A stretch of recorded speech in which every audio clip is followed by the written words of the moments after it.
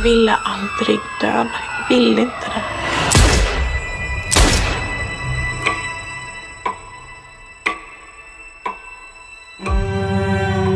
Chock och förstämning präglar den lilla byn Knutby.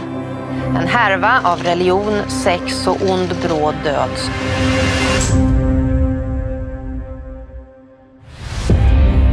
Knutbysekten levde i sin egen värld med egna regler, egna lagar.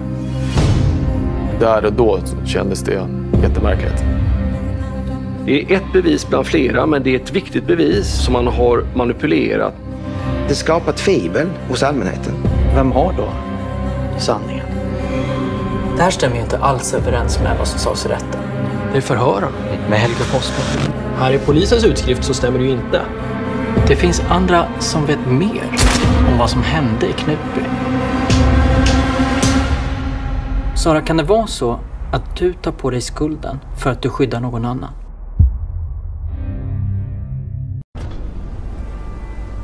Jag hade fått ett sms där det stod att dräpa har sin tid.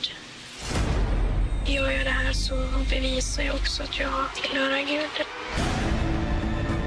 Det handlar om ett av de mest bisarra kriminalfallen i Sverige i modern tid.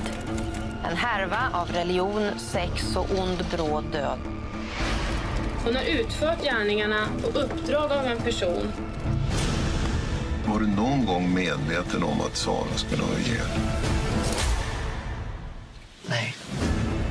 Det som har framkommit är ju att det har funnits en kultur av bestraffning eh, mot medlemmar som på olika sätt har brustit i sin tro. Det blir lite som ett rollspel i verkligheten där vissa karaktärer kan tas bort om de inte längre är till nytta eller rent av är besvärande.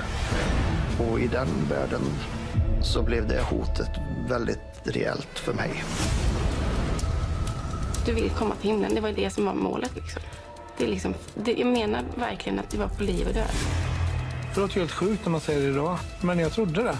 All ondska, alla problem, alla missförhållanden, alla övergrepp. Uppenbarligen blev sju resor värre efter att jag försvann.